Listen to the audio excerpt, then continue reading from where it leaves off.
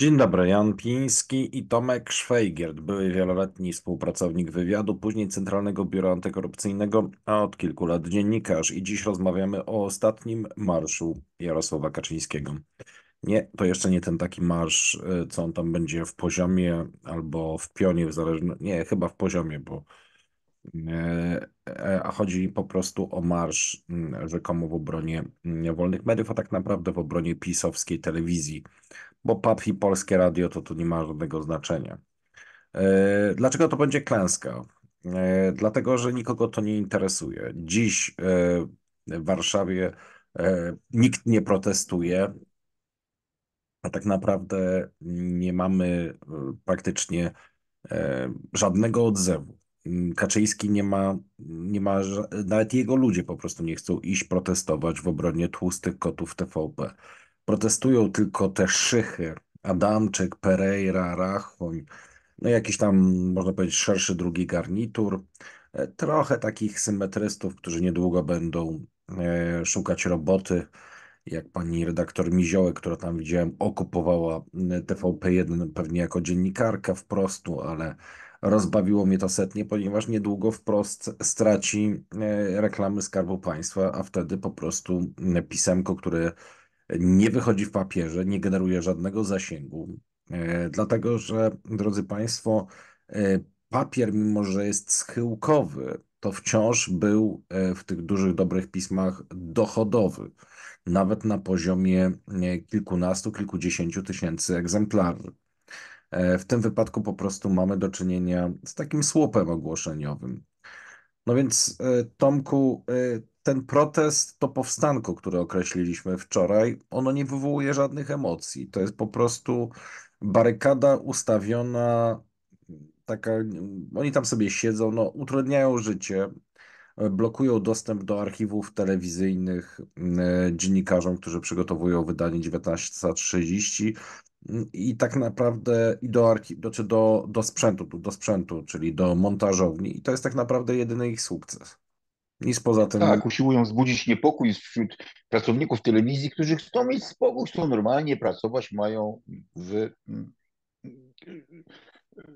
mają dosyć tych wydarzeń, po prostu na nich wszystkich e, i czekają, kiedy to, kiedy to się skończy. To są pracownicy, którym nic się nie zmienia, bo oni kokosów nie zarabiali. W telewizji zarabiało się dobrze, ale to nie były kokosy, ko- kokosy to, nie były, to nie były te kominy płacowe, tak jak w przypadku tych no, e, tuzów, szanowni państwo, czyli e, Adamczyka, e, Pereiry, pani Choleckiej, Ogórek, pani Ogórek, czy Rachonia, Kłeczka i tak dalej, i tak dalej. No ci to sobie tam nie żałowali. No jeszcze twój były podwładny, pan Olechowski, no wiesz, to też, też sobie radził nieźle, całkiem, lepiej niż prezes Narodowego Banku Polskiego. I tutaj Jarosław Kaczyński, on ma koncepcję, on rysuje plan, tylko w tej koncepcji później zawodzi taka drobnostka, na przykład, że nie ma ludzi. Jarosław pięknie powiedział, jakby na początku było o jakiejś y, jak, y,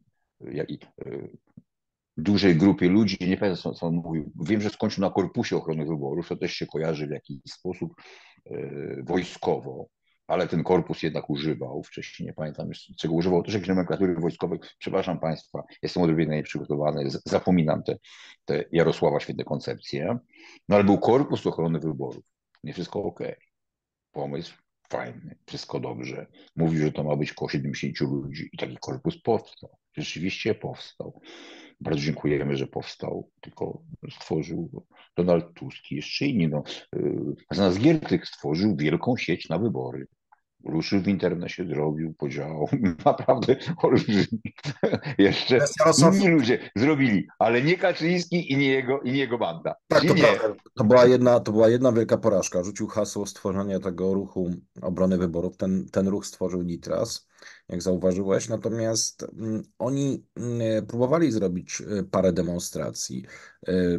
To była ta wielka demonstracja, której oni uważali, że rozkręcą na tym, że Polacy bronią papieża. Oni się nie zorientowali, że Polacy już y, nie żyją papieżem. To nie jest rok 2005, to nie jest rok 2000. Ja kiedyś Państwu opowiadałem taką historię, jak się boleśnie przekonałem, bodajże to był rok 2014, zrobiłem specjalne wydanie, uważam, że historia z numerami, z tekstami tylko i wyłącznie od papieżu. Liczyłem, że sprzedamy tego mm, kilkadziesiąt tysięcy. Miałem w pamięci kilkaset tysięcy mm, egzemplarzy, których się sprzedało. W zasadzie wszystkie numery się sprzedały wtedy wprost. To jest takie rzeczy się zdarzają.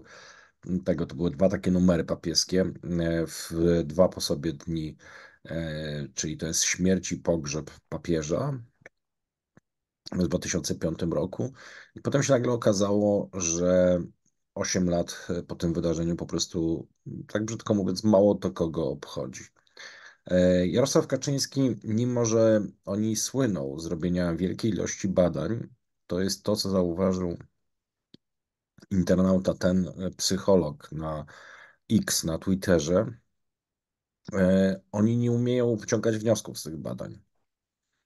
E, postawienie w tej chwili na obronę TVP nie wzbudza to żadnych emocji. Ludzie są teraz wkurzeni.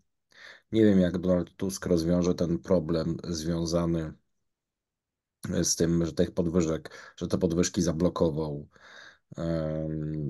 Duda. Duda mówi, że złoży jakiś projekt jutro do Sejmu. Sejm będzie procedował. Pewnie e, chociażby nawet ze względów E, prestiżowych, chociaż też podejrzewam, że Duda zrobiłby ten swój projekt w taki sposób, że i tak on byłby nie do przyjęcia, a rząd złoży jakiś własny projekt, bez już nieuwzględniający telewizji. Natomiast ludzie 11 stycznia myślą zupełnie o czym innym. Ja oceniam, że e, będzie na tej demonstracji tyle ludzi, ile PiS po prostu zwiezie, czyli tylu działaczy, ilu będzie chciało przyjechać Myślę, że to może być maksymalnie 50-60 tysięcy. Na tyle są w stanie po prostu zrobić logistyki. Nic poza tym. To będzie ostatni marsz Jarosława Kaczyńskiego, ponieważ jeżeli się rzuca tego typu hasło, to to jest to gigantyczne ryzyko.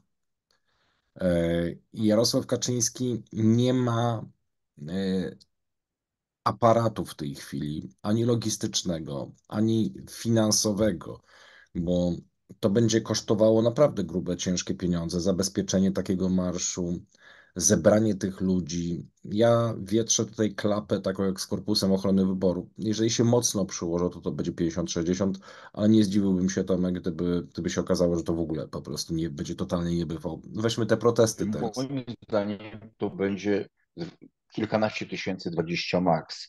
E, Jarosław Kaczyński nie bierze pod uwagę jednego. Po pierwsze nie bierze pod uwagę czynnika, który zawsze trzeba planować, e, wziąć pod uwagę przy planowaniu e, tego typu demonstracji pogody i czasu. Czas jest słaby, pogoda jest słaba. To rzeczywiście.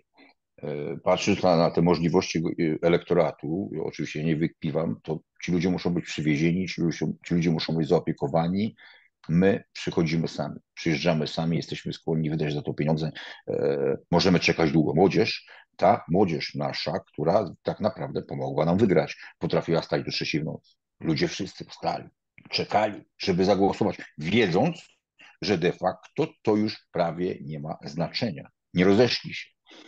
E, zobaczcie, czego nie rozumie Kaczyński. Kaczyński nie rozumie, że jeżeli wywołuje się coś w rodzaju rewolucji, to ci rewolucjoniści w większości potrzebują pomocy, są zagrożeni, są okupowani, grozi im rzeczywiście jakieś niebezpieczeństwo. No i tłumy idą tych ludzi bronić. No co broni Kaczyńskiego, który wczoraj urządził e, e, spotkanie wigilijne razem, razem z pasterką e, w TVP Info. Wszedł sobie spokojnie ze wszystkimi ludźmi, z Kanią, Błaszczakiem, tam resztą tej menażerii, Adamczykiem, pełne stół, ugina się od żarcia, na głowę nie pada, wszyscy w garniturkach elegancko. Nie żaden steropian, nie żadne e, kaski, chociażby te, które służyły do ochrony robotnikom w, w latach 80., po prostu pano, wypasione koty przyjechały sobie grzecznie weszły, e, e, strasząc mm, ludzi pilnujących tam porządku, ochroniarzy,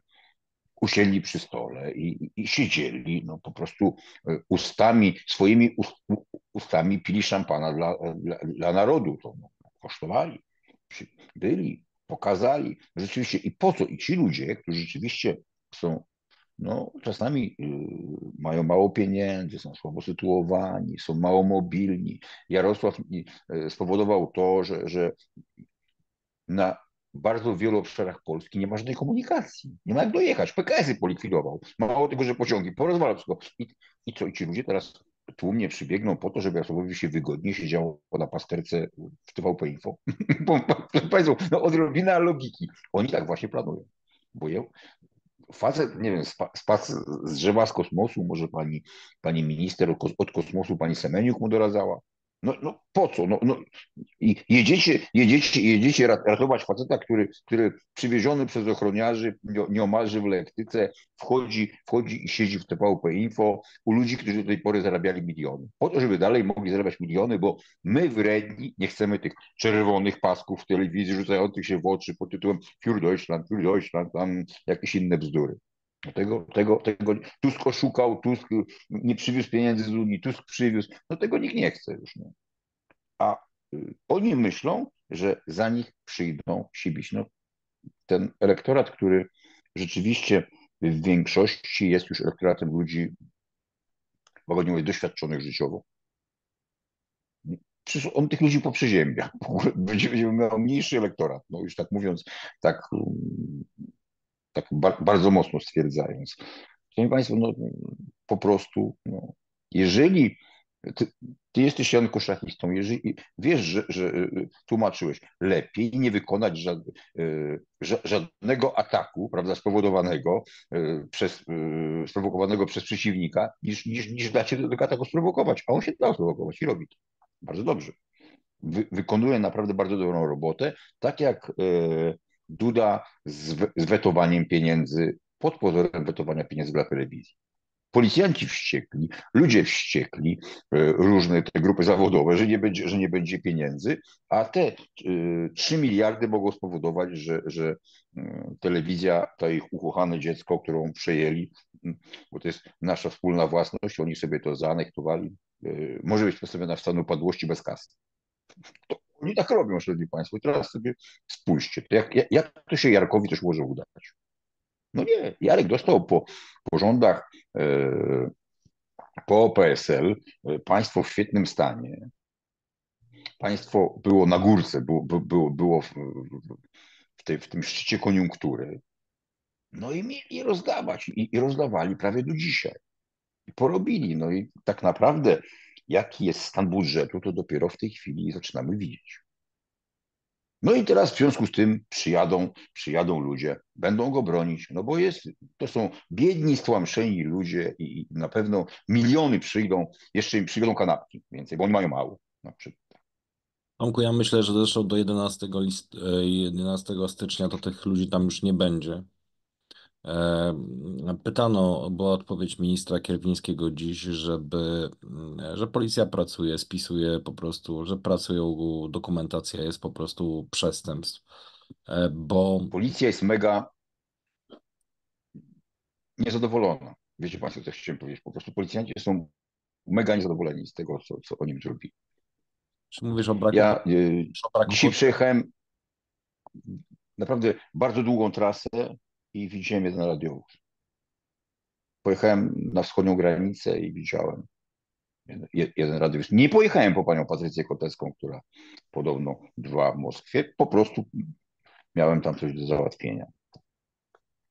No i przyznam, przyznam się Państwu, no nie, nie widziałem policji. W, w Polsce nie było, nie, potwierdzą to ludzie, którzy, którzy dzisiaj, wczoraj, przepraszam, jeździli, mm, jeździli po Polsce, dzień świąt i zobaczą, że mało policjanci, no generalnie mówiąc mają w, wystarczająco dużo pracy, i chcą odpocząć, odpocząć święta.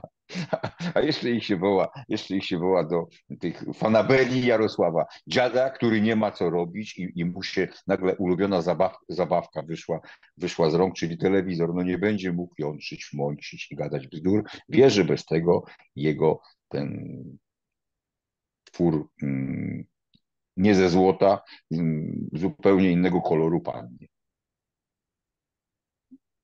W każdym razie, drodzy Państwo, e, Jarosław Kaczyński e, ustawił sobie po prostu nie, płot tam, gdzie ten, gdzie to barykadę, tam, gdzie ona nikogo nie interesuje, nie wzbudza żadnych emocji.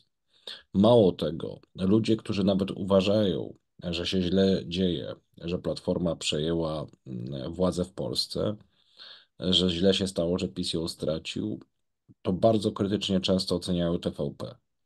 TVP to była taka po prostu mm, jedna z najgorszych emanacji. Tak naprawdę TVP, mm, ona mm, była jakąś tam rozrywką dostosowaną do poziomu elektoratu, którym Jarosław Kaczyński gardzi. Ten elektorat nie przyjedzie na te, na ten wyjazd, chyba że ktoś podstawi autobusy i mu zapłaci. To jest operacja logistyczna. To jest 11 stycznia. Powiem Państwu, ja kiedyś e, przeprowadzałem taką operację.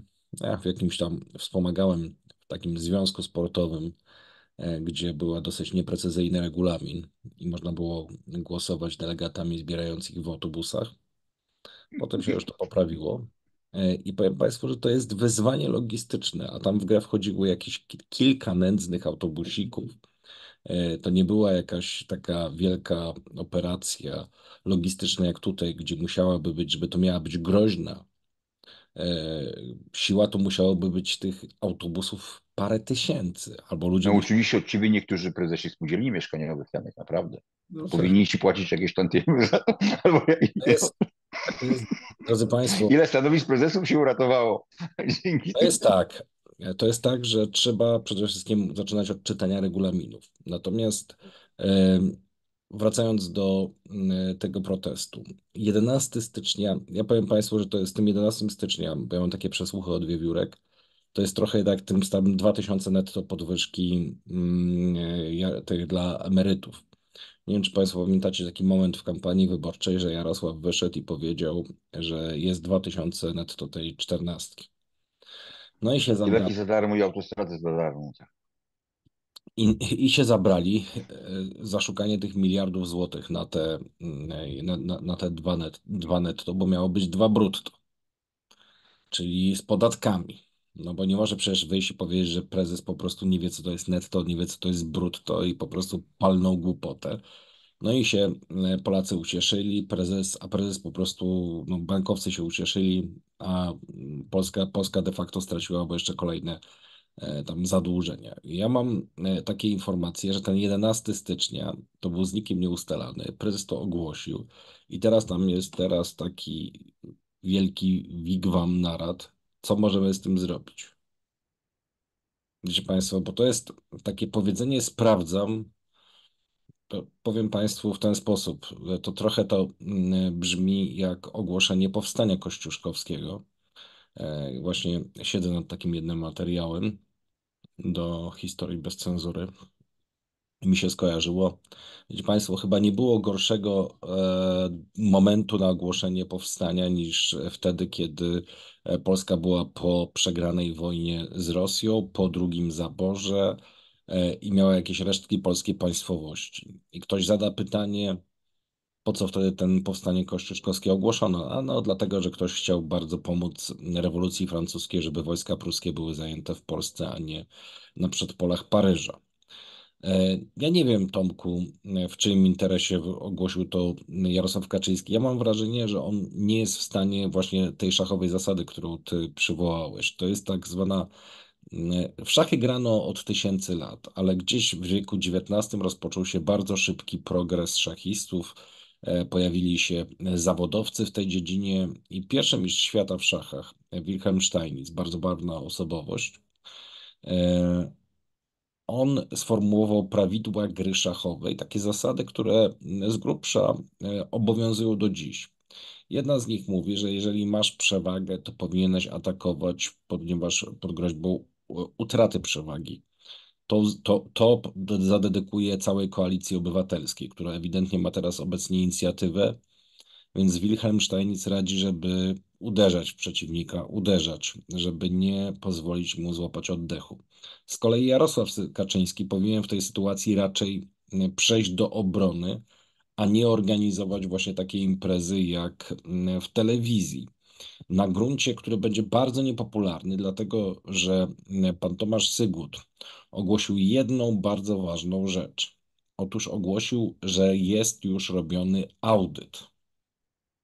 Jak my się dowiemy, na co te pieniądze szły z TVP e, PiS, no to ja myślę, że to może być, jak to gruchnie 9 e, powiedzmy stycznia 10, to może się okazać, że nawet te autobusy, co jechały zapłacone, to zawrócą. W każdym razie tam, tam nie ma po prostu żadnej temperatury. To, to, wiecie Państwo, to, to jest e, chyba najgorsza z możliwych rzeczy, e, którą on zrobił, czyli wybrał. Wiesz, Tomku, to jest tak, jakby zrobić, e, chyba, chyba jest tylko jeden, jeden, żeby zrobić wiec poparcia dla, dla Łukasza Mejzy. To jest chyba tylko gorsza. I Mateckiego. Dołóż Mateckiego, ja Tak, jest- można prosić. To, To jest, idziemy po bandzie, to na pełnej. I, tu, I tutaj wiecie Państwo o czym, o czym. Ja nie chcę obrażać, tylko to odzwierciedla, na czym my idziemy. Na pełnej, jeżeli chodzi o, o Mejzę i o Mateckiego, to idziemy na pełnej tej, wiecie Państwo. Tak. Zresztą święta nie chcę mówić. A ja miałem taki No dowcip, super pełnej. bo chciałem jedną z prezenterek wymienić, ale się ugryzłem w język. Nie, nie, to, nie, nie, to, to już teraz nie, Janek, nie, nie, nie, nie, nie. nie. Absolutnie nie. Natomiast e, w każdym razie e, to, to jest naprawdę bardzo trudne zadanie, żeby. Jest taki dowcip odnośnie tych prezenterek, ale oczywiście mogę powiedzieć, i on jest taki w miarę, w miarę taki. mm, No dobrze, tam Przychodzi tak, taka pani do lekarza, no dzisiaj jest święto, możemy się wieczorem pośmiać, a- do kogo to dopasować, to będziecie Państwo wiedzieli. Przychodzi ta pani do lekarza, właśnie ta pani, o której ja myślę, przychodzi do lekarza i mówi, że ma bardzo duży problem, bo ona ma e, męża, kochanka i jej jest ciągle mało. No to lekarz mówi, wie pani co, no są, są różne metody, wie pani, no jak farmakologiczne, czy jakieś, jakieś porady psychologiczne, ale ja coś pani powiem, tak już tak normalnie, po męsku w zaufaniu. Proszę sobie wziąć jeszcze jednego kochanka. Panie doktorze, ja mam męża i sześciu kochanków i jest mi ciągle mało. No to proszę pani, pani jest bardzo chorą kobietą. Czy może pan doktor mi to napisać tutaj w zaświadczeniu, bo mąż mówi, że ja jestem. I Także to, to, właśnie od, od, odnośnie tego, co chciałeś powiedzieć. No to jest dobre. A, W każdym razie, e, drodzy Państwo, dopasujcie sobie postać do wolnej.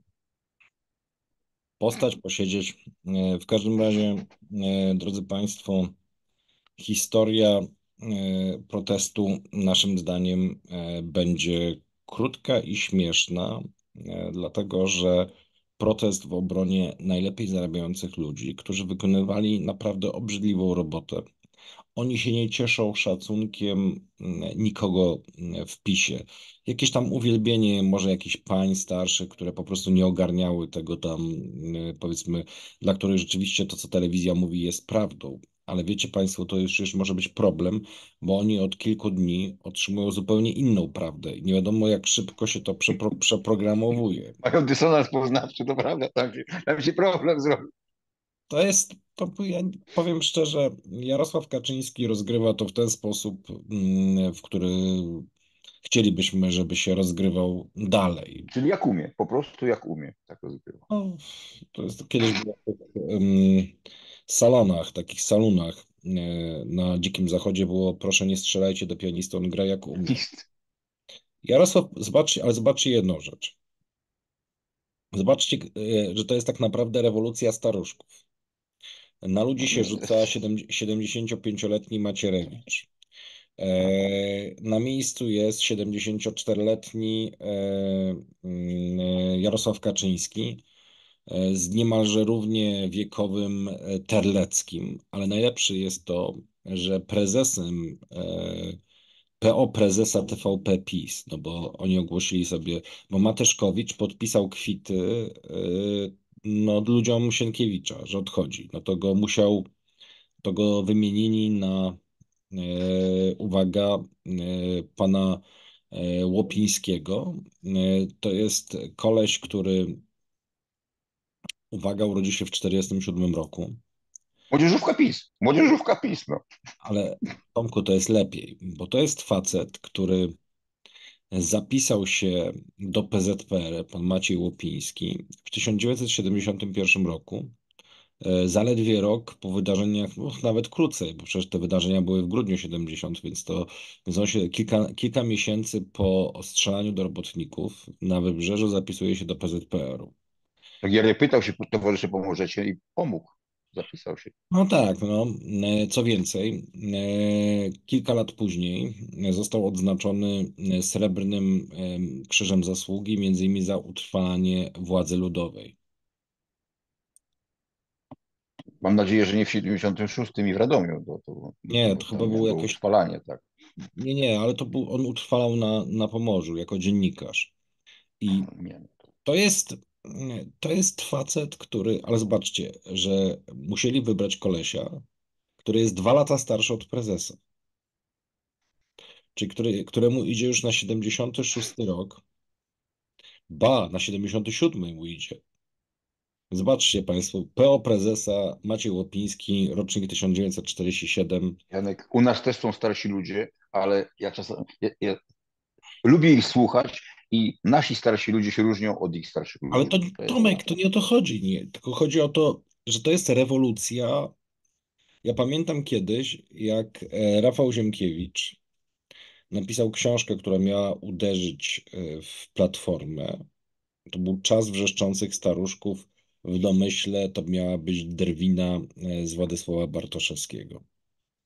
Więc ja powiem szczerze, Gdzie im do, do, do pana Bartoszewskiego? ale to, Tomku, to jest, zostawmy Bartoszewskiego, to teraz jest, mamy tutaj samych staruszków. Sp- spój- Spójrzcie, tam za młodzież robi Schreiber i za młodzież Który robi, ma już dość cały czas. ma już dość, zdecydowanie ma już dość. I, i, i stary chyba i młody mają już dość. Jak on przychodzi brutto, a później zostaje netto, no to już ma dość. No Janek, no wchodzi brutto, a zostaje netto. No dobrze. I Bo Jarosław tutaj wie, co to jest brutto, co jest netto. z- zostaniemy na tym poziomie abstrakcji. No tak, tak, tak, jak najbardziej. E, W każdym razie e, Tarczyński tam, któremu idzie pod pięćdziesiątkę, to jest ta młodzież. Zobacz, że jedynym człowiekiem, który spełnia jakieś mm, kwali, gabaryty młodzieżowe, to jest Szafarowicz, którego tam, który musi jakieś chyba, jak idzie teraz po śniegu, teraz mocny wiatr idzie, to chyba z jakimś obciążeniem idzie, żeby go nie zwiało po prostu, wiesz, z ulicy.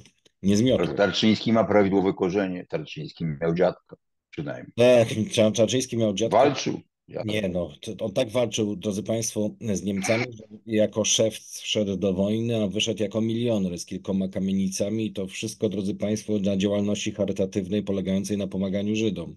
Pomagał im, żeby nie, żeby nie dotarli do, do obozu koncentracyjnego i się nie męczyli. No, tak jakoś wynika z tych, e, z, z tych, z tych zeznań. A co najlepsze, wiecie Państwo, to jest najlepsze, że ludzie by nie trafili do tego dziadka, e, bo on się w ogóle nazywał inaczej niż Tarczyński, tylko Tarczyński sam napisał, że miał dziadka z NSZ-u, co, co ratował Żydów. No, pobiegli wszyscy do IPN-u, a Nasz dziadek... ulubieniec Gmys pisał, zostawcie tego Tarczyńskiego, jak wyjdzie, to nam się działo, to będzie straszny problem. Jego rodzina A on tu skasował, ale skasował te wpisy, wiesz o tym? Tak, Wiesz, tak, że- ale pisał tak, zostawcie to w ogóle. Nie, on powiedział, że od, od ojca swojej żony słyszał, że to wyjątkowe bydle, czy coś takiego napisał, Tak, tak, a tak. potem, a potem to skasował. I to jest e, na, widocznie na prośbę. To jest, e, ja, ja- to, ja też miałem taki żart kiedyś, że jak się we mnie odzywa dziennikarz, to idę cichutko do kącika i czekam, aż mi przejdzie. Natomiast, szanowni państwo, e, no i jest, jest śmieszne. Ostatni marsz Jarosława Kaczyńskiego. Wiecie państwo, strasznie ciężko będzie się podnieść po takiej porażce. Ja powiem wam, bo on teraz nie ma jak tego odwołać. Ja myślę, że mm, nie wiem, co oni tam zrobią. Mm, Zobaczycie, zobaczycie, wspomnicie moje słowa, bo tam tęgie mózgi teraz będą myśleć, jak odwołać ten marsz, żeby Jarosław wyszedł z twarzą. Szanowni Wystarczy wziąć y, y, kluby Gazety Polskiej Sakiewicza i tam będą mi, miliony, a żeby miliardy nawet. Tak. to ja już Państwu przypomnę o co chodzi. Kluby Gazety Sakiewicza, członków klubu Gazety Sakiewicza jest rzekomo więcej niż e, ludzi, ludzi czytających Gazetę Polską. To jest najbardziej zabawne w tym wszystkim. Ostatnia sprzedaż Gazety Polskiej to jest 19 tysięcy. Sprzedaż. W tych 19 tysiącach jest ileś tysięcy egzemplarzy, e, które biorą w prenumeratach spółki Skarbu Państwa, urzędy, sama telewizja, wiecie Państwo, E, sama rezygnacja z prenumeraty Gazety Polskiej przez TVP to będzie jakieś bardzo poważne tego, bo prenumerują ośrodki i prenumerują tego. Wiecie Państwo, ja miałem tam, jak byłem w TVP, to miałem z jedną gazetę, z gazetą na Pieńku. Jakim wypowiedzieliśmy umowę, drodzy Państwo, prenumeraty, to kwik był taki, ojej. Przez grzeczność to Państwo sobie sami wyśledźcie, co to była za gazeta. Szanowni Państwo, hmm, historia na weekend w dobrych kioskach, w dobrych empikach. E, Hitler kontra Matejko. Führer chciał zniszczyć bitwę pod Grunwaldem i hołd pruski. E, nasz król tysiąclecia o Kazimierzu Jagiellończyku, człowiek, który e, ma kiepski PR, bo się nie przebija. Nie ma to, że ma zły wizerunek, tylko po prostu, e, ponieważ głównie wygrywał mm, głową i w dyplomacji, no to, to jakoś go tam nie sławią, ale facet zbudował największe polskie państwo i zbudował podwaliny, na których następne 300 lat sobie to szło. No i oczywiście tajemnica zabójstwa marszałkowej e, Rydza, żony, kto zamordował żonę Edwarda Rydza Śmigłego, Martę. Bardzo ciekawa, bardzo his, ciekawa historia, do tej pory niewyjaśniona. Tomku, powiedz mi, co, co, co ty będziesz robił, jak, e, jak wąsik pójdzie siedzieć? Dalej będę walcem jeździł. tak żartuję. Nie, nie, nie, szanowni państwo. Nie, ja, ja muszę ten dowcip... Będę jeździł tym walcem. Ja no ten, niewątpliwie. Ja, ja teraz no. muszę, szanowni Państwo, to muszę ten dowcip opowiedzieć, ponieważ, ponieważ, ten, do, ponieważ ten dowcip nie jest znany. Otóż e, przychodzi, Jasio rozrabiał w szkole, no i pani każe przyjść Jasiowi z mamą. On nie mówił, nie mogę z mamą, bo był dramat w domu. A co się stało? Mamę walce, walec przyjechał. E, potem jest, proszę, w takim razie przyjdź z tatą. Nie mogę, w domu jest, w domu jest e, dramat, tata, tata też walec przyjechał to przyjdź z dziadkiem. No, dziadka, dziadka też walec przyjechał. To z babcią, babcią baba, babcie też walec przyjechał. O Boże, biedna środko, to co to, teraz będziesz robił? Jak to co? Walcem jeździł. To jest ten nowszy. Tak, dalej będę jeździł. Także, szanowni Państwo, no Wąsik, to miło, że Ty jesteś przygotowany do do aresztu, bo tam jest areszt, wiesz, że jest areszt, to nie jest więzienie, cyk, tylko areszt, przejściówka, dwa tygodnie, elegancko, wiesz, to wszystko trzeba zaplanować. Jestem skrupulatny. Znaczy nie to, żebym coś planował wobec ciebie, tylko po prostu taki skrupulatnie Państwu y, chciałbym powiedzieć, jak to wygląda, bo nie wszyscy z Państwa mieli okazję, już nie będą mieli okazji być w areszcie, bo PiS już nie będzie rządził, bo tak to spodziewam się. No ci, co oglądali nas, to no, no, no, no, no, Wąsik by Was wszystkich sprawdził. Teraz już może, może lepiej nie, bo Wy nie chcecie, żeby on to robił. Także Wąsik, no dobrze, no martwisz się, no każdy ma mamę, każdy denerwuje się, że no mama nie może dowiedzieć się, że ten y, słynny, y, nie, no, ważny człowiek w Polsce, rządzący Polską, idzie, wiesz gdzie. No, to jest przykre. Nikt z nas nie będzie celowo robił ci przykrości, żebyś ty mamę denerwował. Wiesz co, ja, ja nawet bym optował za tym, żebyś ty mógł do tej, do tej starszej pani codziennie dzwonić, mimo tego, że nie ma takiej zgody. Naprawdę, to by było miłe, jak, jakby dało radę. Ja nie mam na to wpływu. Ty jeszcze może ktoś cię posłucha, poproś. Mm, powiedz, że napisz, do, wiesz co, na to się może zgodzić dyrektor aresztu. Powiedz jakaś sytuacja, że jest ciężko. On się zgadza na takie rzeczy hurtowo, wszystkim więźniom pozwala, to tobie na pewno też pozwoli powiedzieć, że taka ciężka sytuacja. A ja już bez żartów już mówię. Panie dyrektorze, proszę pozwolić, bo my jesteśmy inni, Wąsikowi codziennie dzwonić do mamy. Naprawdę niech pan pozwoli. To już mówię 100% poważnie. Uważam, że tak powinno być, bo to, co oni zrobili, że pozabierali więźniom telefony, znaczy osadowym telefony, nie dają się kontaktować z rodzinami, To jest już szczyt z bydlęcenia, tak, z Ziobro, tak, to ty. A później chciałeś zrobić telefonię komórkową swoją i, i a teraz już wam daję, prawda? Nie, szanowni państwo, to mam nadzieję, że teraz y, już y, nowy, nowy rząd y, zajmie się tym. Ja wiem, że to ci, którzy siedzą w więzieniach, to są na ostatnim miejscu. Wiadomo, że tam niewinnych nie jest za dużo. Trochę jest, ale, ale większość są winni. Ale dlaczego karać jeszcze ich rodziny, dzieci, bliskich i, tworzyć z nich takie maszyny, zwierzęta, które wyjdą, będą się mścić na społeczeństwie? Nie, po prostu niech mogą dzwonić do domów. Tylko tyle. To nic złego nie było, że, że mogli dzwonić codziennie. Także Wąsiek, jestem za tobą. Trzymam kciuki. Szanowni Państwo, do zobaczenia.